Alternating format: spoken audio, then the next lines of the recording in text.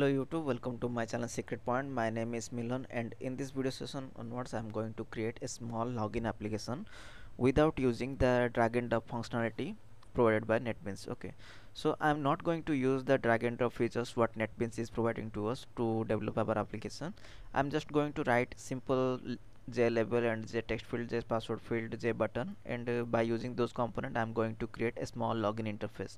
And later we will switch from means we will provide the login credential and uh, if the login credential is correct information is provided in the login credential then it will move to the next home page. Okay so based on this concept we are going to make a small application.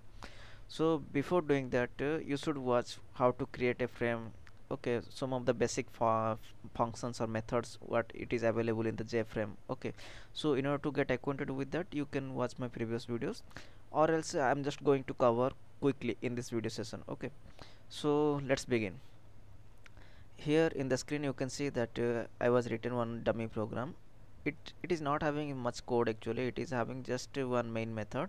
And uh, within that main method I am calling one method that get frame and uh, in that get frame method I was written that frame creation logic okay? So what is the alignment of that frame? What what is the clo default close on operation and uh, what is the title of the frame what is the layout uh, how to set the background of the frame all those things I was done in this program.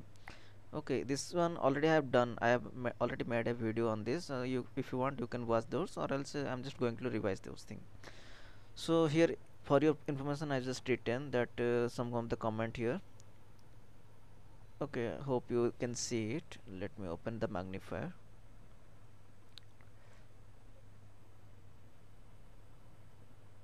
hmm. Now you can see might be. Okay. So in the screen you can see that these are the some of the nodes what I was written for you.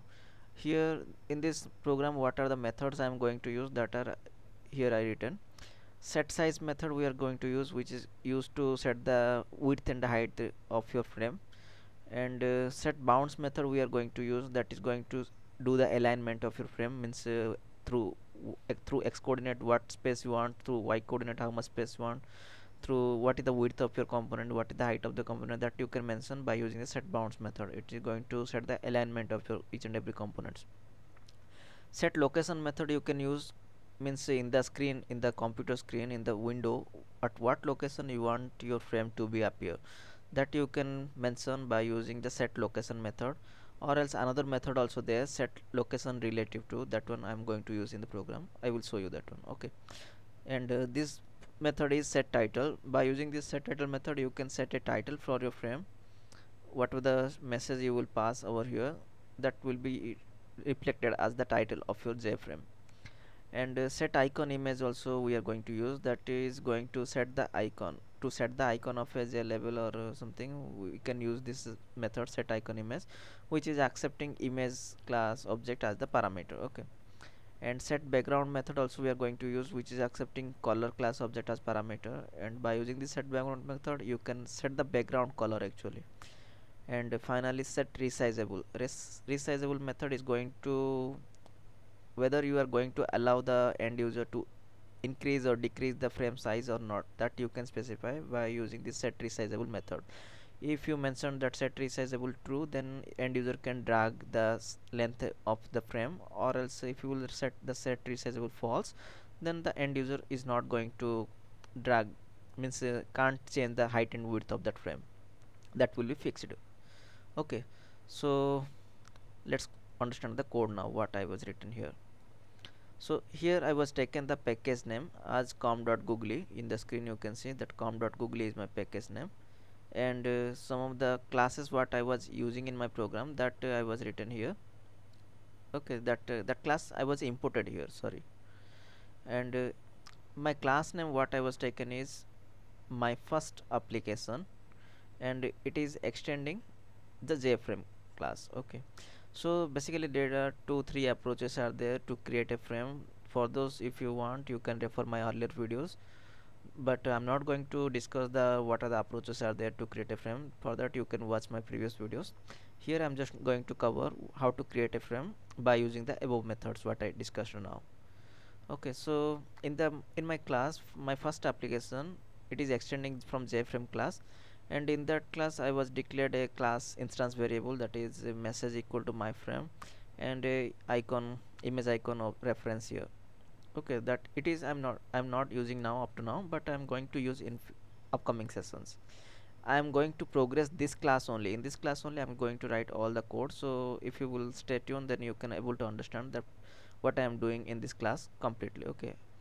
One after another video I am going to publish the rest of the code what I am going to write in this class okay.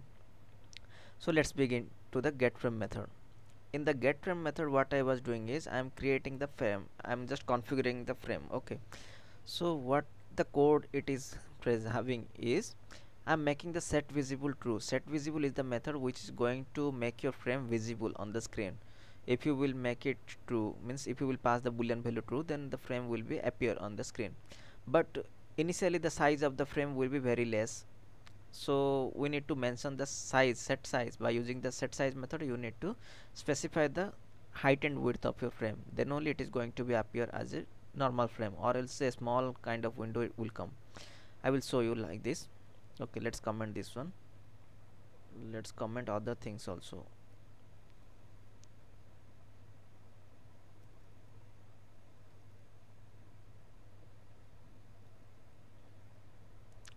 one after another I am going to uncomment and I will explain what it is happening. Okay set disable also I'm commenting.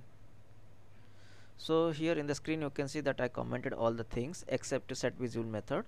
And in the main method what I was doing is let me go to the main method. Here is the main method okay. These are the some dummy code.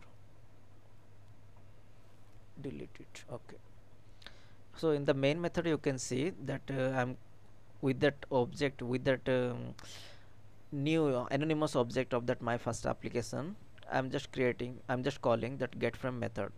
And as in the get frame method all the codes are commented except this set visible method. So it is just going to show the frame. Let's run this. Now our application is running